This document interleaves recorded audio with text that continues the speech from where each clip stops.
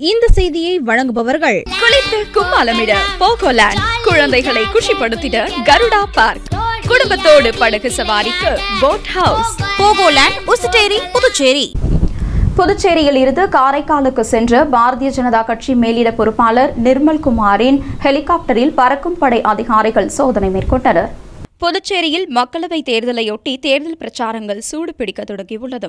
இந்நிலையில் புதுச்சேரியில் தேர்தல் துறை அதிகாரிகள் சார்பில் மக்களவைத் தேர்தலில் விதிமீறல்களை தடுப்பதற்காக பல்வேறு நடவடிக்கைகள் மேற்கொள்ளப்பட்டுள்ளது. இதன் ஒரு பகுதியாக புதுச்சேரி மற்றும் ஏனாம் மாஹே உள்ளிட்ட பிராந்தியங்களில் தேர்தல் துறை பறக்கும் படை அதிகாரிகள் அதிரடி நடவடிக்கைகள் மேற்கொண்டு வருகின்றனர். இந்நிலையில் புதுச்சேரியிலிருந்து ஹெலிகாப்டர் மூலமாக பாரதிய ஜனதா கட்சி மேலிட பொறுப்பாளர் நிர்மல் குமார் சுரேனா தேர்தல் பிரச்சாரத்திற்கும் மற்றும் கட்சியின் ஆலோசனைக் கூட்டத்தில் பங்கேற்பதற்காகவும் காரைக்காலுக்கு சென்றார். இதனைத் தொடர்ந்து காரைக்காலில் அவரது ஹெலிகாப்டரை தேர்தல் பறக்கும் படை அதிகாரிகள் சோதனை மேற்கொண்டனர். இருபது நிமிடங்கள் நடைபெற்ற இந்த சோதனையின் முடிவில் நிர்மல் குமார் சுரானாவின் ஹெலிகாப்டரில் எந்த பொருளும் கிடைக்கவில்லை என்று உறுதிப்படுத்தினர். இதனால் ஹெலிகாப்டர் தரையிறங்கும் மைதானத்தில் சிறிது நேரம் பரபரப்பு காணப்பட்டது.